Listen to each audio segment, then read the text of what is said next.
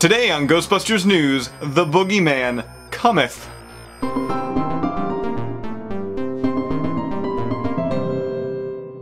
Hey everybody, Jason here of GhostbustersNews.com, and as always, Ghostbusters News right here on YouTube. And it's no secret, looking in behind me here, that I am a collector of practically pretty much all things Ghostbusters. And really, the addiction began way back, of course, in the 1980s with the original Kenner's Real Ghostbusters toy line. In that line, we saw action figures based around the main four guys, Peter, Ray, Winston, and Egon, as well as also Janine Melnitz, Louis Tully, and unique spook and specters that were created just for the line, like Granny Gross and Fearsome Flush. And as a kid, I absolutely loved this line, as well as an adult, I mean, I still love the line, but now I can kind of look at it in a different way, and I gotta admit, they dropped the ball a bit in one specific area, and that was not having more ghosts from the actual Real Ghostbusters animated series in the toy line. There were tons of characters that would have been perfect for store shelves. Characters like Samhain, the Grundle, the Sandman,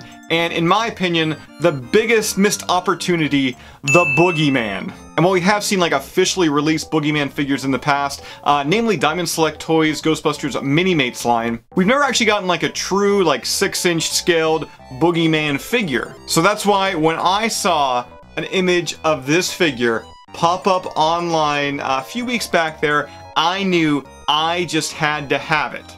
Now let's get a few things out of the way right here. First and foremost, this figure is 100% fan made. It is not licensed or endorsed by Hasbro, Sony Pictures, anybody connected whatsoever to Ghostbusters. And for those wondering, it was made by the folks over at the BAMM Toy Company. And if you'd like to check out BAMM Toy Company's past work, or if you got a toy idea you'd like to see commissioned, be sure to reach out to them. We've got their Facebook page right down below in the description. And now that I got that out of the way, once again, 100% fan made, not endorsed by Hasbro or Sony, just to let you guys know once again, um, I gotta say, this is an action figure um, I would have loved, loved, loved, loved to have as a child. At the same time, it probably would have kept me up at night, you know, having this in my toy room. I mean, just check out the level of detail here on the face that went into the 3D sculpting.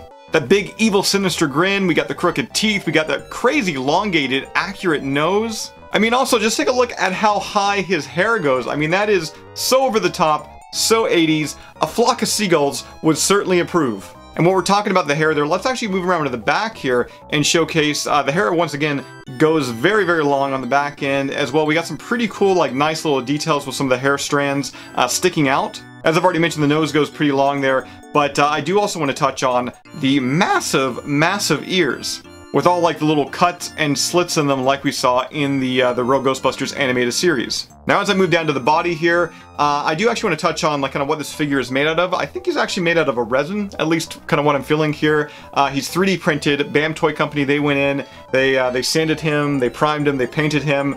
Um, he looks, once again, just so, so professional here. But yeah, taking a look at the body here, he's got this uh, little blue and red jacket on. I mean, he's totally naked, but the jacket, like why even wear the jacket? Um, yeah, yeah, I never really noticed once again how over the top his, his actual costume is. Now for those wondering, the action figure is also articulated, so you can definitely move the arms up and down, as well as also uh, the legs do move, but um, yeah, I mean that looks like, you know, kind of awkward, like he's kind of trying to relieve himself a little bit. And touching on and speaking of of those uh, those legs, the hooves there, um, he's got you know really really tiny legs. In fact, from a design stage, uh, I'm really actually happy with how BAMM Toy Company uh, counteracted those little legs, because he typically wouldn't be able to stand normally. As you can see here, they use the, uh, the tail end of his jacket to actually help uh, support him and make him actually stand upright. So the overall design on this thing, the 3D sculpting, I, I really do love on here. Uh, as well, the paintwork really, really pops nicely. It looks like he was lifted right out of that original Real Ghostbusters episode. Now I know what you're wondering out there, how does he stack up next to, you know, your standard real Ghostbusters action figures. Well, here he is standing next to the, the Hasbro re-release of the old school Kenner Real Ghostbusters classic Egon Spengler.